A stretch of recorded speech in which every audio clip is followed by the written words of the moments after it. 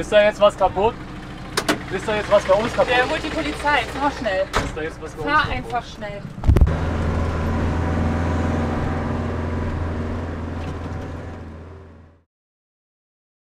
Wir haben jetzt gerade noch so eine Art kleinen Unfall, weil jemand uns quasi gerammt hat. Also es war halt auf beiden Seiten mega voll und er ist halt einfach von hinter uns in den Gegenverkehr und dann wollte er vor uns reingrätschen und wir sind aber weitergefahren und dann hat er uns quasi so gerammt, weil hier geht ja jeder davon aus, dass er der geilste und erste ist und deswegen hätte er, hat er wahrscheinlich gedacht, wir halten auf jeden Fall.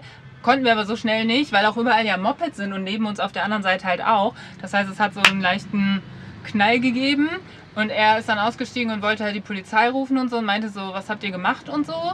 Und wir haben aber von sehr vielen gehört, dass wenn das in Indien passiert, man auf jeden Fall wegfahren soll, weil man als Syri halt immer die kürzere Karte zieht. Also selbst wenn man nichts verschuldet hat, kommt die Polizei wahrscheinlich und sagt, hätte gesagt, wir müssten zahlen und hätte uns nicht geglaubt. Und deswegen sind wir dann halt auch ziemlich schnell einfach weggefahren. Und sonst gibt es also, also sowas wie Versicherung gibt es auch nicht. Das heißt, man einigt sich so unter der Hand, aber warum sollen wir jetzt für seine Schramme zahlen, die er selbst verursacht hat? Und jetzt hatten wir die ganze Zeit ein bisschen Angst, dass er uns folgt, aber haben ihn jetzt zum Glück hinter uns gelassen und sind jetzt halt weggefahren. Sowas wäre in Deutschland halt undenkbar, aber ist hier gang und gäbe. Mit Rekordgeschwindigkeiten von knapp über 80 km/h sind wir dann weggefahren. Also der war noch ganz Zeit hinter uns, aber weiß nicht. Also erst sind die uns noch hinterhergefahren, aber irgendwann durch den Verkehr waren wir dann irgendwann weg. Aber geil war es nicht. Und ältere Freundinnen von uns, also ein relativ Carlos und Lolita, ein älteres Pärchen, hatten halt so eine Situation, wo ein LKW vor denen einfach ein Stück zurückgefahren ist, um die halt zu berühren. Und dann sind die Leute halt ausgestiegen und meinten auch so, "Äh, was habt ihr gemacht und so. Und sie haben halt nichts gemacht. Aber es war so viel Verkehr, dass sie nicht direkt wegfahren konnten. Das heißt, die waren dann halt bei denen so am Fenster und so. Und dann haben sie versucht wegzufahren. Und dann haben die sich halt irgendwie an der Tür und so festgehalten. Und die sind halt gefahren und die Person, also die indische Person, hing dann da halt so. Und die wollten die jetzt halt auch nicht schwer verletzen und haben dann doch nochmal angehalten. Und dann haben die angefangen auf Carlos, der halt am Steuer saß, einzuschlagen.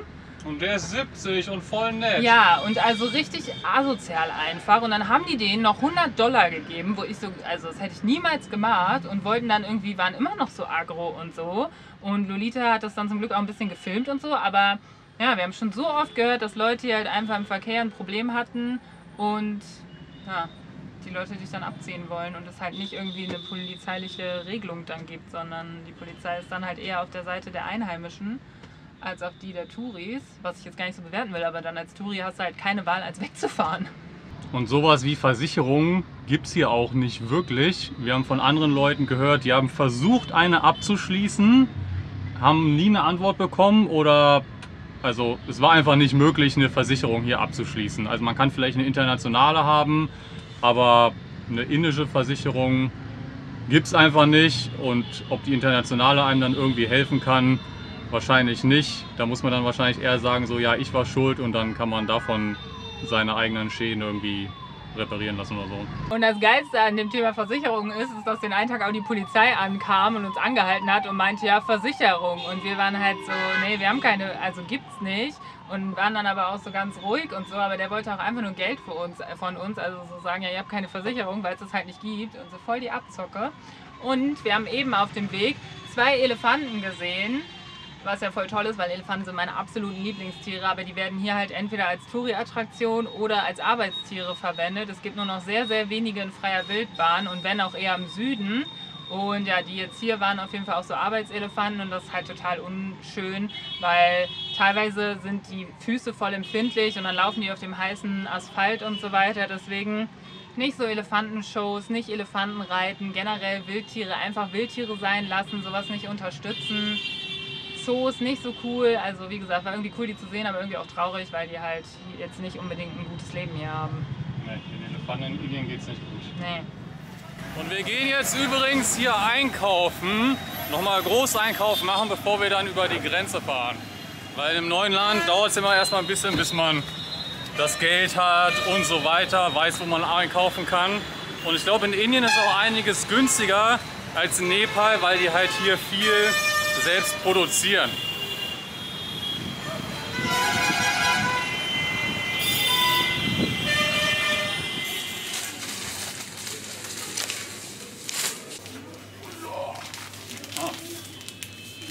macht man das ja hier.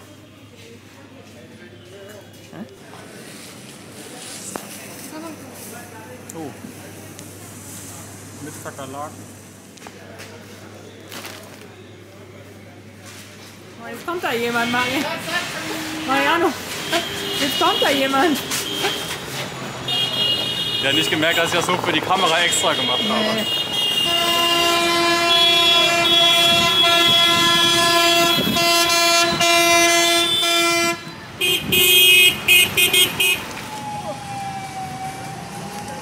Nee. Ja. Großeinkauf. Also wir haben entschieden, dass wir noch genug Dollar haben. Ah, funktioniert, ne? Aber hat halt überhaupt nicht gesagt, wie viel Gebühren das jetzt kostet, aber gut. Also Dollar haben wir noch, weil die sind zwar schon ein bisschen älter, aber ab 2003 ist das wohl okay. Sind zwar sehr kleine Banknoten jetzt, aber egal. Notfalls müssen wir halt an der Grenze das dann wechseln. Aber wir mussten eben im Supermarkt mit Bar bezahlen, weil zum ersten Mal da unsere Karte auch nicht funktioniert hat. Also es ist manchmal echt schwierig hier mit Karte zahlen. Ja, Deswegen die mussten wir jetzt nochmal hier Rupees äh, holen. Aber in Indien gibt es halt voll viel mit so sowas wie PayPal, haben die voll viele Ja, verschiedene Google Pay. Systeme, Google Pay, wo wir halt nicht angemeldet sind, was aber voll gut ist, weil dann so ärmere Leute halt am Markt was verkaufen kann und das alles online läuft und sie dann keine Gebühren an irgendwelche Banken zahlen müssen. Das ist Ja. halt richtig genial und macht so Transaction viel einfacher für arme Ja. Menschen. Aber wir sind halt überhaupt nicht drauf ausgelegt. Nee, das funktioniert mit unserer deutschen Bank nicht. Da brauchen wir eine indische Bank. Und jetzt gibt's aber die letzten Kokosnüsse für On the Road. Indien wäre ja auch schon mal hundertmal schöner, wenn der Verkehr nicht so krass wäre und nicht alle immer hupen würden. Man könnte das jetzt hier so geil genießen. Hier gibt's so geile, günstige Sachen am Straßenrand, aber es ist einfach nur stressig. Also in Amritsar am Anfang, da ging es noch, da hatten wir noch ein bisschen Geduld. Einmal haben wir es ja mit Jodhpur versucht, aber seitdem waren wir eigentlich in keiner Stadt mehr, weil man kann einfach hier nicht gemütlich rumlaufen, ohne dass man... Oh, okay, Boah, zurück in the van.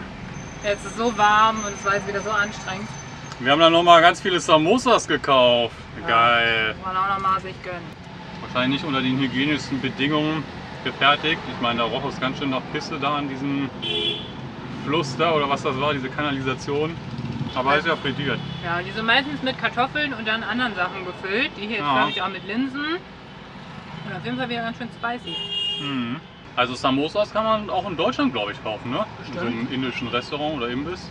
Unser Lieblings... Oh, jetzt habe ich schon einen Schluck auf, weil es so scharf ist. Unser Lieblingssnack. Dann fahren wir jetzt noch weiter, ne? Ja, wir müssen ja hier rauskommen nach dem Tag. Ja. Raus aus dieser Stadt. Raus aus Indien.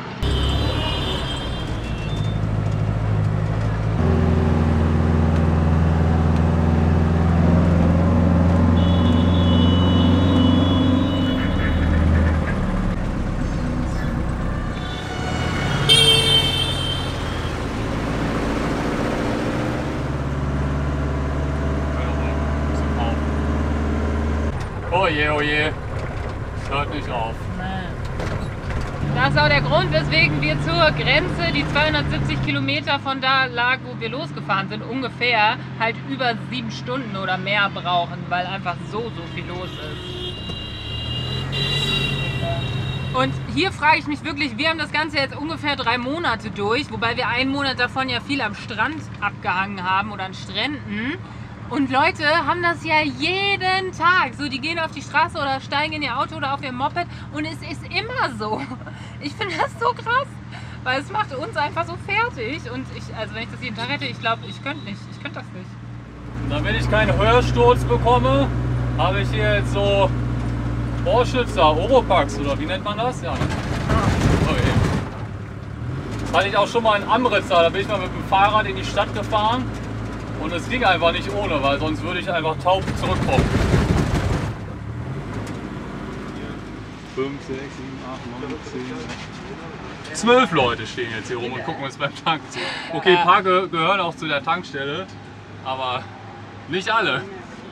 Aber es ist ganz lustig. Ähm, die haben immerhin jetzt mal das D gesehen und gefragt Denmark und nicht halt so, where you, ne, where Obwohl you ich from. vorher erzählt habe, dass wir aus Deutschland kommen. Keine Vielleicht wollte er noch mal mit mir reden, ja. Aber ist ganz nett so, aber ist schon lustig, wie viele hier jetzt wieder so reingucken und so weiter. Aber ist ja halt so neugierig. Tanken haben wir dann jetzt auch erstmal erledigt. Also wir sind jetzt erstmal voll auf der Reservekanister, weil Nepal ist wieder ein bisschen teurer. Dann wollen wir natürlich jetzt hier noch den günstigeren Diesel ausnutzen. Und dann tanken wir morgen vor der Grenze dann noch einmal voll und dann haben wir erstmal genug. Und jetzt suchen wir einen Schlafplatz langsam, weil es wird langsam dunkel. Oh je, Bene. Wo können wir schlafen?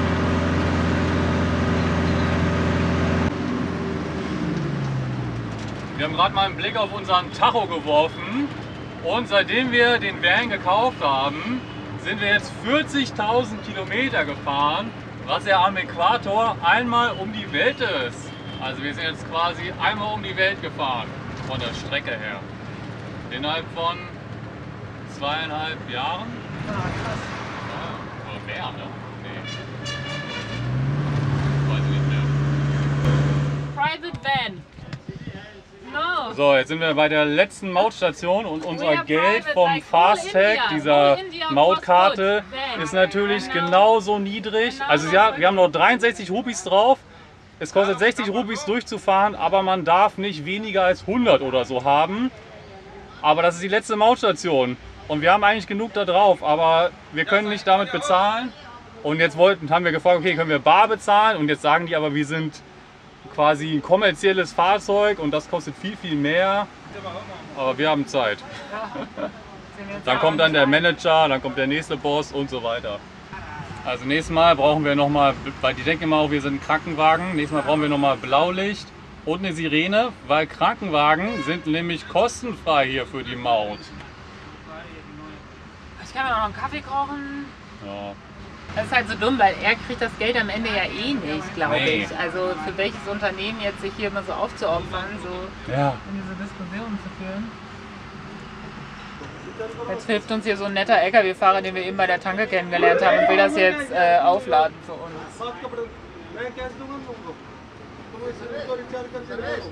Diskutiert ganz viel für uns.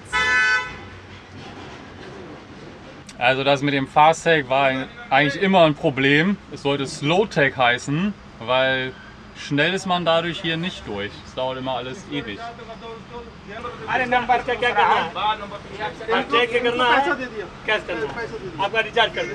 Jetzt hat dieser nette Inder einmal das, was wir mehr zahlen mussten, bezahlt und hat jetzt noch unser Fast Tag um 500 Rupees aufgeladen.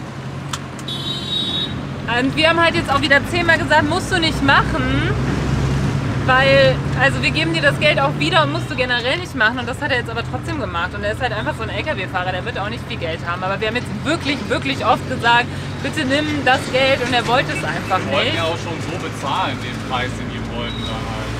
Aber er war jetzt auch nochmal so, ja, ihr seid meine Gäste und so. Also bei allem, was uns in Indien oft ja auch einfach zu viel wird, muss man auch immer sagen, man darf das nicht so verallgemeinern und es gibt wie überall auch einfach unfassbar nette Menschen. Und das ist jetzt irgendwie ein schöner Abschluss auch nochmal einfach. Richtig lustig, jetzt sind wir irgendwie nicht ein anderer Bundesstaat, aber irgendwie eine andere Region und da war es halt so manchmal so Polizeicheck oder die LKW müssen da halt irgendwie. Die LKW müssen da irgendwie ihre Papiere zeigen und so, aber halt die Warteautos nicht. Und dann waren da halt jetzt dreimal Leute, zwei haben uns durchgelassen und so, nachdem wir gesagt haben, ja, wir sind Touristen, wir fahren nach Nepal. Also Polizeileute. Ja, Polizeileute. Und der dritte, der, keine Ahnung, der hat auch null Englisch gesprochen, hat ganz halt irgendwas gesagt, dass wir jetzt da in diese Region reingefahren sind. Und ich glaube, der wollte einfach Geld haben. Aber wenn wir kein Hindi sprechen und er kein Englisch, dann funktioniert das mit der Bestechung nicht so gut. Naja, jetzt sind wir, konnten wir weiterfahren. Aber sonst wären wir auch einfach gefahren. Ja, was wollen sie machen? Was wollen sie machen, genau. Noch mehr. Uiuiui. Oh Gott, scheiße. Oh Gott. Okay, geschafft. Schnell auf den Rasen. Oh, jetzt habe ich alles hier matschig. Ach du Scheiße. Kommt da rechts was? Ja, nein, schaffst du. Oh Gott. Das war jetzt keine gute Idee.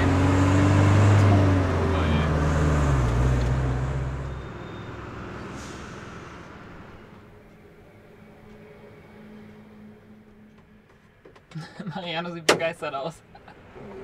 Ja, lustig. Das Rest, also ist irgendwie ein Restaurant oder ein Kiosk, da gibt es ganz viele Stühle und die ganze hintere Wand ist quasi eine große Fläche mit wie eine riesen Matratze oder Decke. Und ich glaube, die ganzen Trucker können hier schlafen und dann, also hier parken und dann da drinnen schlafen irgendwie. Richtig geil.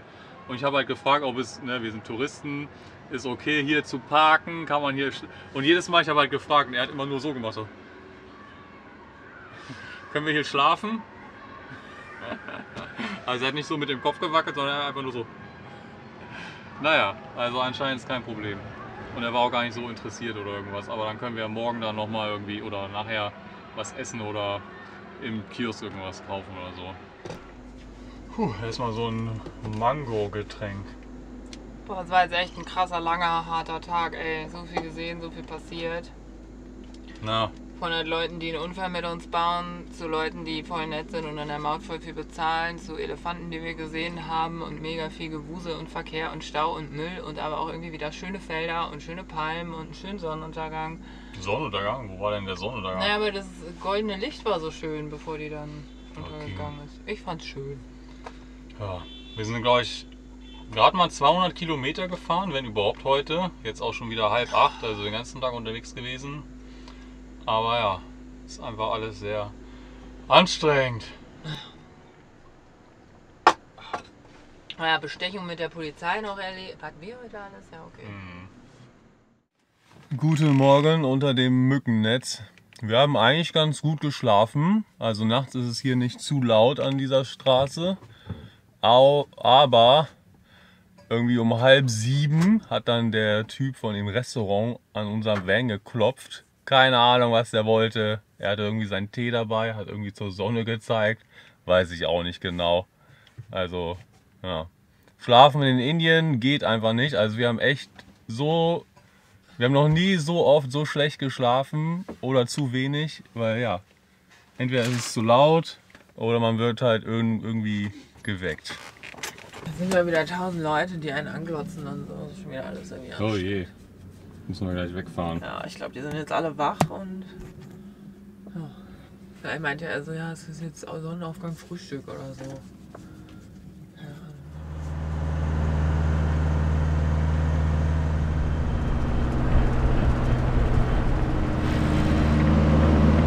58 Kilometer. Okay, was richtig lustiges, wir machen gerade äh, Pause an der Tankstelle, bisschen frühstücken, Kaffee trinken. Aber ich schaue immer auf YouTube so einen Fahrradkanal, weil ich gerne Fahrrad fahre, GCN, Global Cycling Network. Und die haben jede Woche so eine Show, wo sie halt über verschiedene Dinge reden und so. Und da können Leute immer so ein Intro hinschicken, wo sie sagen, okay, willkommen zu der Show. Und als wir damals im Iran in der Lutwüste waren, dann bin ich da ein bisschen Fahrrad rumgefahren, weil da waren wir über eine Woche, hatten nichts zu tun, kein Internet und so weiter. Und dann hatte ich halt die Idee, okay, ich mache jetzt auch mal so ein Intro-Video. Und jetzt ist das bei dieser Show gelandet. From the hottest place on earth, the Lut Desert in Iran. Welcome to the GCN Show. Welcome to the GCN. Wie lustig ist das denn? Man darf halt auch wirklich nicht vergessen, wir lieben YouTube. Also ich habe auch voll viele Kanäle, denen ich folge und die ich voll inspirierend finde. Mariano halt auch. Und das ist auch so ein Grund, weswegen wir halt YouTube machen, weil wir es einfach cool finden, dass so viele verschiedene Sachen da so einfach zu gucken sind, wo man was lernen kann, sich inspirieren lassen kann und so weiter. Wir nutzen dann jetzt auch nochmal unsere 1,5 Gigabyte, die wir jeden Tag haben, bevor wir ausreisen. Nochmal das nächste fertige Video hochladen und so ein bisschen über Nepal informieren, also wo wir jetzt heute überhaupt dann hinfahren wollen. Wir müssen auch noch unsere ganzen Einkäufe mal nach hinten räumen, die jetzt nach vorne nicht hingepasst haben.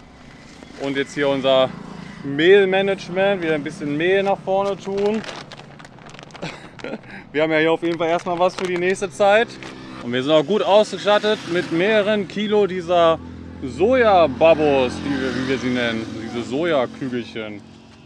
Okay, wir haben jetzt eigentlich alles Wichtige erledigt, sind bereit zum Abfahren. Wir wissen aber auch noch nicht ganz so richtig, was wir alles in Nepal machen wollen, weil es gibt halt auch so verschiedene Nationalparks, wo es halt alles Mögliche an wilden Tieren gibt. Nashörner, Tiger, Elefanten, Krokodile, alles. Aber in diesen Parks, also zum Beispiel der Chitwan Nationalpark, Da gibt es dann halt auch immer so Elefantensafari und das finden wir halt richtig kacke, weil die werden halt schlecht behandelt und überhaupt so auf Kamelen reiten, auf Elefanten reiten. Warum muss man das machen? Wir wollen ja die Elefanten sehen, wie sie da glücklich sind und nicht auf denen da rumreiten. Wir machen uns dann weiter auf den Weg nach Nepal, wenn wir denn überhaupt einreisen können. Hier eine kleine Vorschau der nächsten Folge. Und irgendwie immer noch nicht besser. War aber noch schlimmer.